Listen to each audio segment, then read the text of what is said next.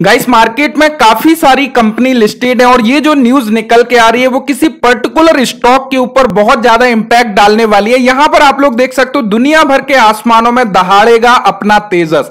आखिर अपना तेजस, एक अपनापन जुड़ा हुआ है मिनिस्ट्री ऑफ़ डिफेंस के अंतर्गत आने वाली। हिंदुस्तान एरोनेटिक्स लिमिटेड एच लड़ाकू विमान बनाती है और इसकी डिमांड अभी इतनी बढ़ती जा रही है। करेंटली ये न्यूज़ निकल के आई है लगभग एक घंटा पहले, जिसका इंपैक्ट आप लोग सीधा सीधा कुछ दिन से आप लोग देख पा रहे होगे एच हिंदुस्तान एरोनेटिक्स लिमिटेड के शेयर की यदि हम लोग बात करें, जो है डायरेक्टली डेली यहाँ पे काफ़ी अच्छी उसमें ग्रोथ देखने को मिली। लगभग हम टू वीक में बात करें तो टू वीक में इस स्टॉक ने लगभग 15 प्रतिशत ट्वेंटी प्रतिशत की ग्रोथ दिखाई है। और डेफिनेटली अभी आगे इसके और ग्रोथ दिखाने के चांसेस है। बिकॉज़ ये न्यूज़ हम लोगों को क्लियरली बता रही है, भारत के फाइटर जेट को खरीदना चाहते हैं। अमेरिका, सिक्स और ऐसे देश हैं, जो इसमें दिलचस्पी दिखा रहे हैं। अब इसकी थोड़ी सी डिटेल समझ लीजिएगा। इन्होंने बताया पुरानी हिस्ट्री के बारे में कि 1965 की जंग में अचानक किए गए पाकिस्तानी एयरफोर्स के हमले में भारत के 35 फाइटर जेट धराशाही हो गए थे। यानी कि उस टाइम लड़ाकू विमान में जीपीएस तक गाइस नहीं होते थे और उस वजह से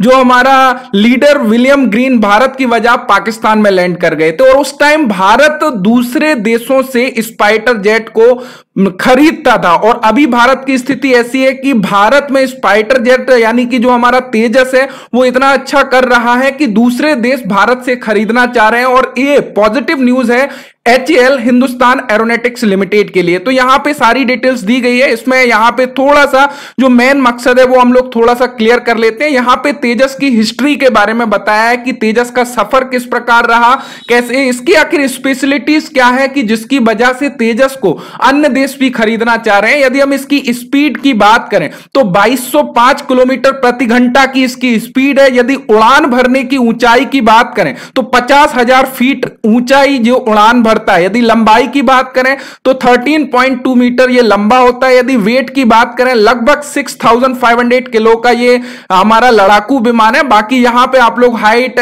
विंग स्पैन सारी चीज़ें देख सकते हो। तो ये कुछ स्पेशलिटीज है जिसकी वजह से अन्य देश भारत के इस लड़ाकू विमान को खरीदना चाहते हैं। यहाँ पे क्लियर किया है मलेशिया को 18 स्वदेशी तेजस बेचने की पेचकश भारत अब दुनिया के दूसरे देशों से सिर्फ़ फाइटर जेट खरीदेगा नहीं बल्कि बेचेगा। इस बात की जानकारी शुक्रवार, यानी कि 5 अगस्त को संसद में रक्षा राज्य मंत्री अजय भट्ट ने दी, जो कि अभी मार्केट में न्यूज़ आ चुकी है। तो डेफिनेटली इसका जो इंपैक्ट है, वह हिंदुस्तान एरोनेटिक्स लिमिटेड, यानी कि एच के शेयर प्राइस के ऊपर डेफिनेटली पड़ने वाला है। तो आप लोगों को इस शेयर को रडार में रखना है और प्राइस एक्शन देख के आप यहाँ पे अपनी पोजीशन क्रिएट कर सकते हो। तो यहाँ पे वही सारी चीज़ों को क्लियर किया है। तो मेनली यहाँ पे जो तेजस है, उसकी डिमांड गाइस बढ़ती जा रही है और उसका असर हम लोग यहाँ पर प्राइस पर क्लियरली देख पा रहे हो गाइस जब भी कोई मार्केट में न्यूज़ आना होता है, उससे पहले प्राइस पर उसका असर डेफिनेटली दिख जाता है और यहाँ पर आप लोग देख सकते हो, लगातार एचएल का शेयर एक अच्छा